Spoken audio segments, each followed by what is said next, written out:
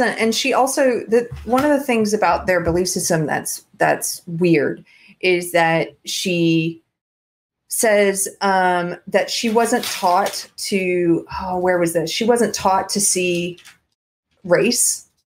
Um, but she was because and now at some point she was and now she is teaching other people to see race and and to judge people. When i say see race i don't just mean see of course we all see race I mean to judge people and treat them differently on the basis of race.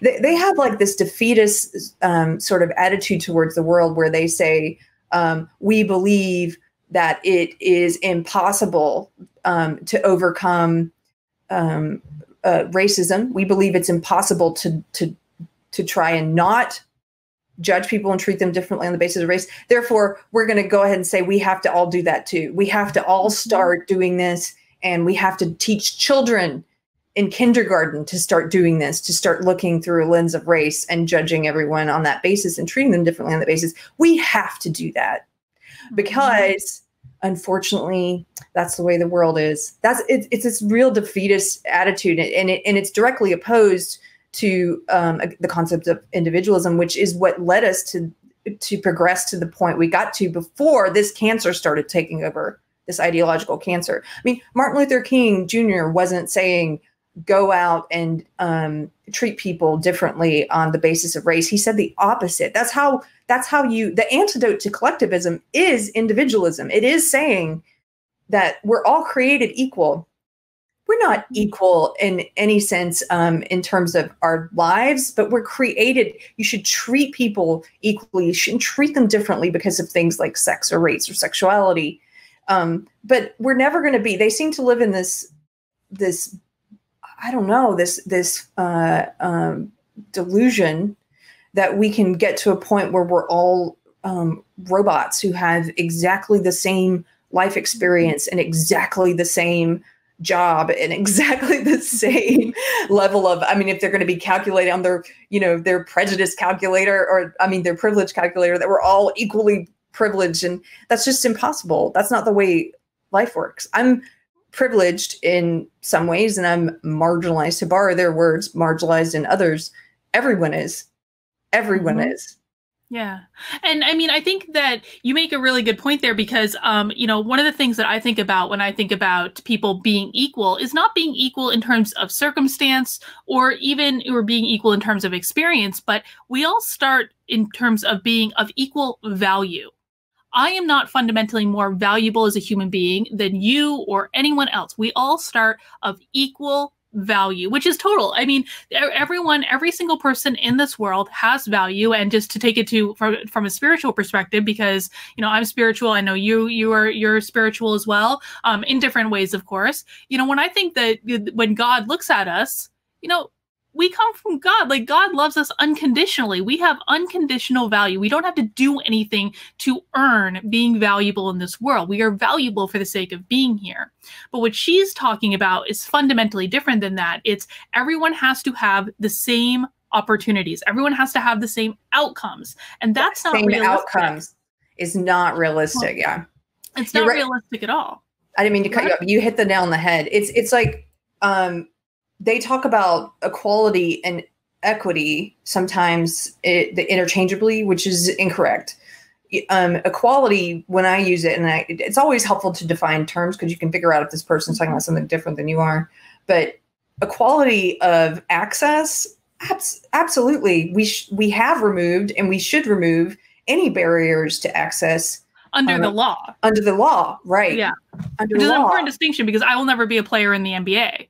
Right. There's no way to remove that. There's no way to Yeah. And so but but they want equality of outcome. They mm-hmm. want us all to be doing the same thing at the same it's like um, sometimes I've, I've heard somebody say about Marxism, and this is a, a mutated kind of Marxism, that they want us to all be equal in the rubble. They won't be happy until we're all equal mm-hmm. in, you know, everything that they've destroyed.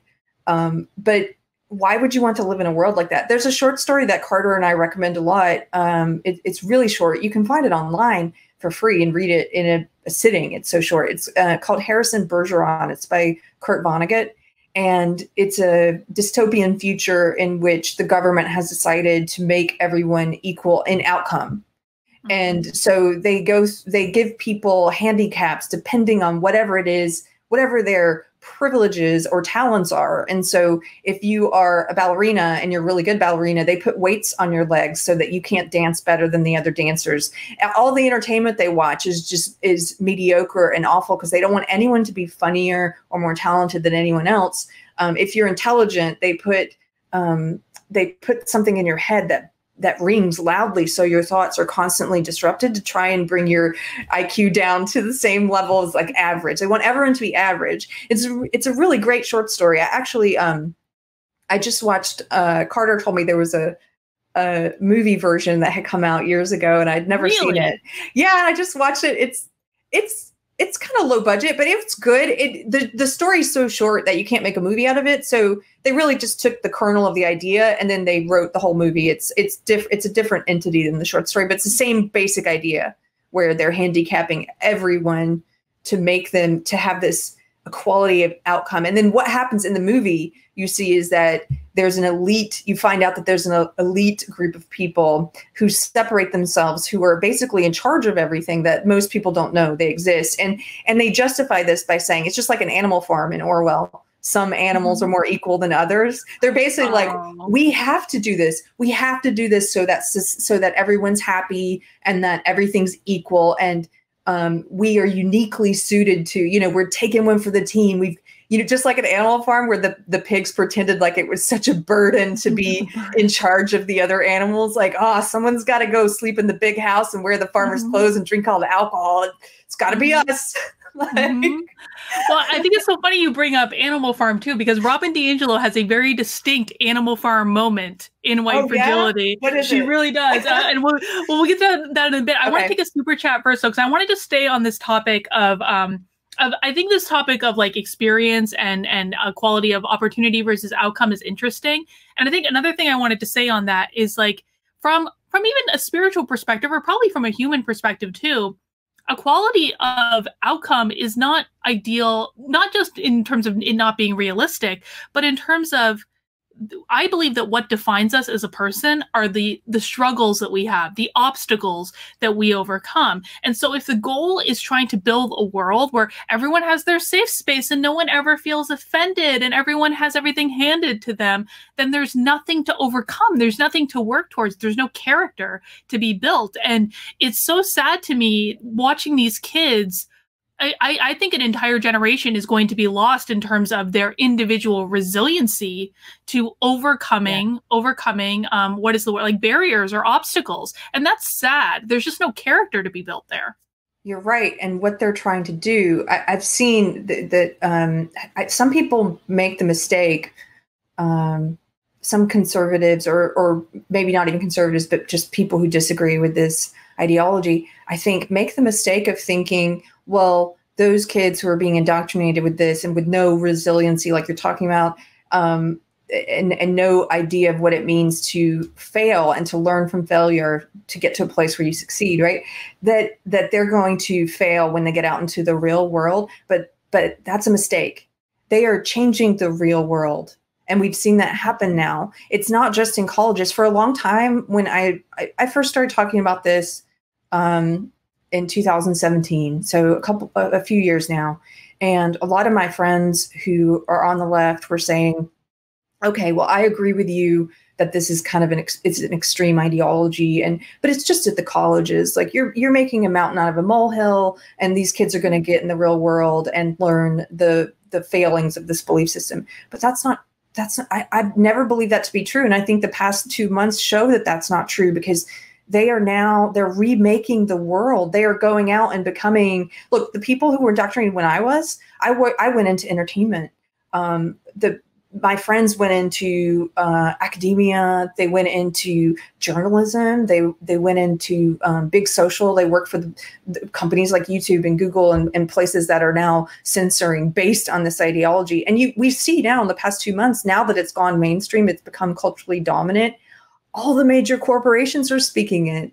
It's a really mm-hmm. cheap version of it that they're speaking, but they're speaking it and they're indoctrinated their their employees. They're making them go to seminars like white fragility seminars and they're making them read indoctrinating books like this one. And so much so i'll just give one quick anecdote. There's a, a former friend I, an acquaintance i knew when i worked in entertainment who had uh, a lot of people unfriended me over the past few years but he had not i guess. And i hadn't heard from him in years but he came out of the woodwork recently to comment on my page and to call me uh, a white nationalist and other awful untrue things um, but he he works at he's a senior vice president at fullscreen which is a warner media group company and he had um, I, I, went and looked to see what he had been talking about online recently because i hadn't heard from him forever and he was tweeting all this stuff about he was so proud to be at Warner, where they're they're doing these um, anti-racism, dismantling racism trainings, and it's all this kind of white fragility stuff. He had just been through that indoctrination seminar, and what did he learn from it? He came to my page to say things that weren't true, and then here was the really interesting part. When you take these ideas, she uses a lot of words to not really say anything. Mm-hmm. This is mm-hmm. this book is, I mean, more than anything, it's just boring because she's saying the same thing over and over. Um, when you take these ideas, which are somewhat obscured by the pseudo intellectual uh, language and stuff that she uses, where people feel like, oh, I guess I just don't quite get it, or she's she's ma- causing you to do mental gymnastics so that you can try and deny to yourself that um, that there that there's something wrong that there's not something wrong with treating people differently on the basis of race. But see, when you filter when that gets filtered down from academia to a, a, workshop like this where people are learning this um, to i'm gonna i'm gonna name call him in the third person i'm not talking to him i'm gonna mm-hmm. he's kind of a moron when it comes out of his mouth you hear what it really is and so what he said to me on my wall i said look the reason why i reject social justice ideology it was my religion for 20 years but once I realized what it really is, I reject it because it is racist, because it is sexist, and because I oppose those things. And so I don't care uh, what you call me or um, the repercussions of coming out against it. I think it's wrong and I think it's dangerous. And I think it is, it, it teaches people to judge people and treat them differently on the basis of race and sex. And do you know what he said to me, Karlyn? What? He said, of course, we must treat people differently on the basis of race. We must judge them and treat them differently on the basis of race.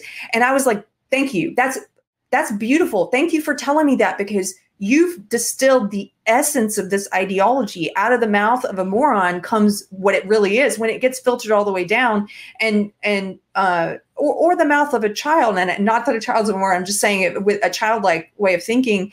There are kids who are being indoctrinated with this stuff in school and are I've heard people say, you know, my kid came home or their classmate came said to my kid that um, they learned in school today that white people are bad that's the essence of it that's what comes out when you when you strip it of the pseudo intellectual veneer that it holds with mm-hmm. all of these many many magic words